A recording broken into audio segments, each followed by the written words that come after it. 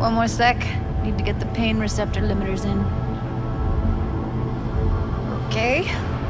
All set. You need to test your profile first. Tossing in a sample BD.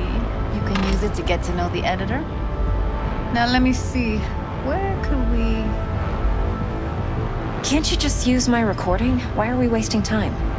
So we don't risk our necks? Besides, won't take a sec. Got something here.